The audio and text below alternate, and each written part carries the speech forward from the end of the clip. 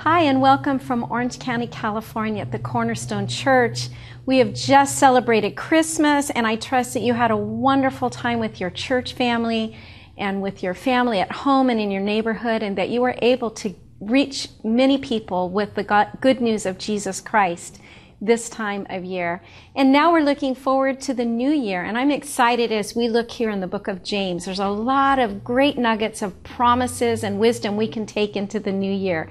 So join me now as we open up Living Life. I'm so thankful you've invited us to your home. It's such a privilege and an honor. And uh, we're going to just find some real great truths this time as we go through the scripture that will encourage us in the new year.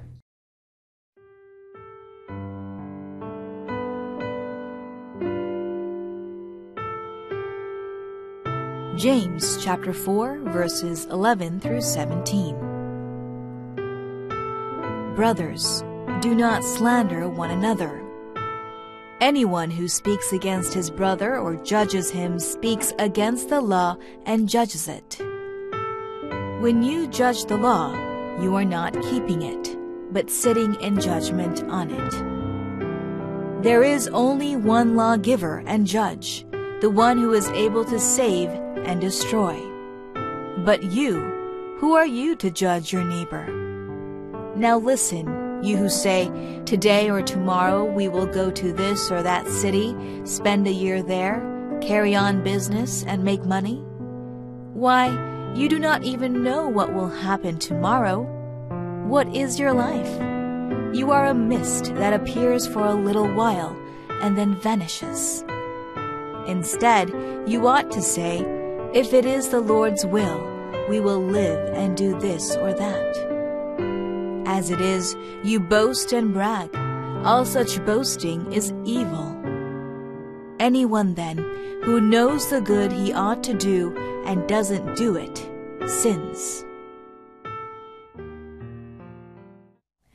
I'm sure that, like myself, we have this kind of thing in our nature that when somebody says, do not, we kind of want to try it. I remember I had one of our five children that if you told that one do not, they would like try to test you to the limits.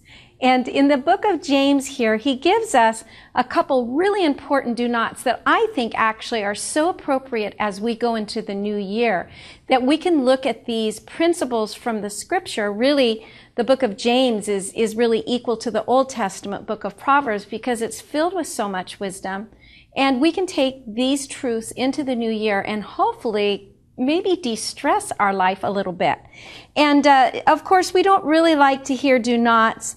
Um, we like to be told you get to do whatever you want. But in God's word, He gives us do nots because He wants to encourage us and He wants to live a life well lived, a life that is fulfilled. And so in this portion of scripture, the first thing that James says is do not judge. Don't judge. Don't speak evil of another because you who judge will also be judged. It says in Luke 6:37, judge not and you will not be judged. Condemn not and you will not be condemned. Forgive and you will be forgiven. I can't think of a greater way to enter the new year than to go in with this hard attitude to not judge others, but to be forgiving not to look at others, but to look at ourselves and to trust God to take care of other people while He takes care of us. And the second um, do not we find here is don't do not boast about tomorrow. You know, we take so much for granted in our Christian walk because God blesses us so much. We sometimes forget that every day that we have is a day that's been given as a gift from God.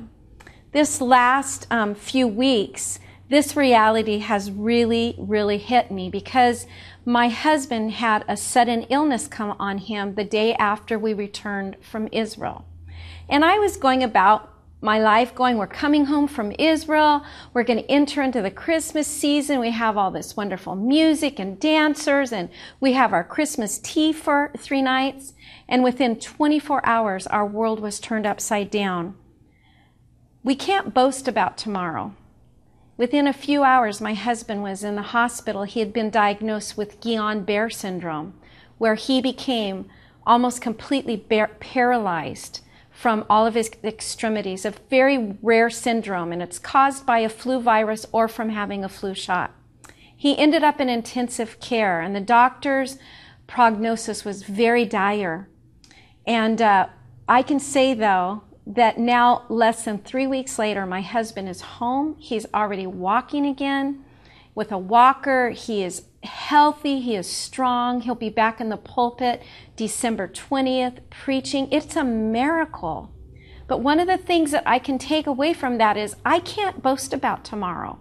I thought I had all my ducks in a row. I thought I had everything organized. I thought I had even done most of my Christmas shopping. But you know, when it's all said and done, we can't boast in anything. Only Jesus Christ. That's the only thing that we can boast in. So, this is the principle. Don't boast like you know everything about tomorrow because you have to put your trust in God. And do good every day. Take care of business with God every day because don't put off tomorrow what needs to be done today because we don't know what tomorrow brings. And James is saying, don't boast about tomorrow. It says here in verse 13, Come now, you who say, Today or tomorrow we'll go do such and such, and a city, we'll spend a, a year there, buy and sell, and make a profit. Whereas you don't know what tomorrow may bring. And I think that ties in so well with this first portion where he says that we're not to speak evil of one another. And then when we see in Luke where it says forgive. See, if we have an opportunity to do good today, we should do it because we don't know. We can't boast in tomorrow. And that's what we see that he ends with here in verse 17. Therefore, to him who knows to do good and does not do it, to him it is sin. Do you have something in your life today that you need to take care of? Do you have a family member that you haven't forgiven, or perhaps you're holding a grudge against somebody, or you're judging someone? How about right now taking a moment to bring it before the Lord and starting off the new year with a clean slate, forgiving others, not judging others, putting all your cares into the hands of the Lord, and allowing Him to be the only thing that you boast in.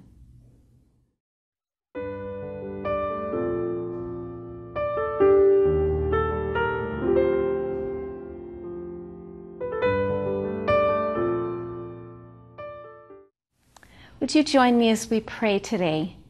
Dear Heavenly Father, we come to you in your precious name, the name of Jesus.